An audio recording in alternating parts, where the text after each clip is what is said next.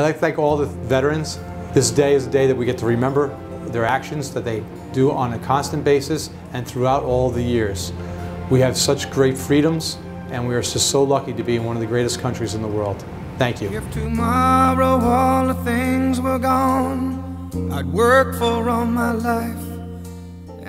I had a first cousin I was very close to who was with the 82nd Airborne, and he was killed on maneuvers training the National Guard in Florida. And he is buried in Arlington Cemetery, and I've, I've had the honor to be there a couple of times and to stand at his grave and to be reminded that every day men and women around the world are putting themselves in danger for us, and it can be right here at home. I'm proud to be an American, where at least I know I'm free. And I won't forget the men who died, who gave that right to me, and I gladly Um, every day, students in this high school learn about military engagements that Americans had been involved in.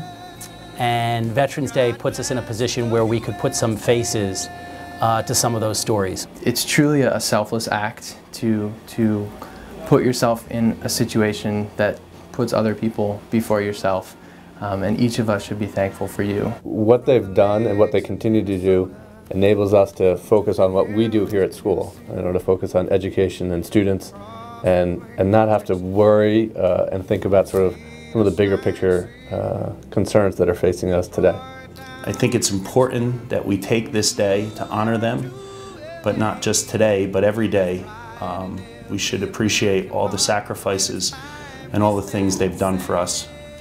I'm very appreciative. Thank you. An American, where at least I know I'm free. And I won't forget the men who died, who gave that right to me. And I gladly stand up next to you and defend her. My dad was in the Navy for 15 years. I have an uncle who was a river rat in Vietnam. I have another uncle who was on the Saratoga in Vietnam. Um, in my opinion, people feel inclined or have a calling to be part of defending our rights and fighting for our rights. These people should be honored. They're putting their lives on the line so that we can enjoy the freedoms that we have. God bless you. Thank you.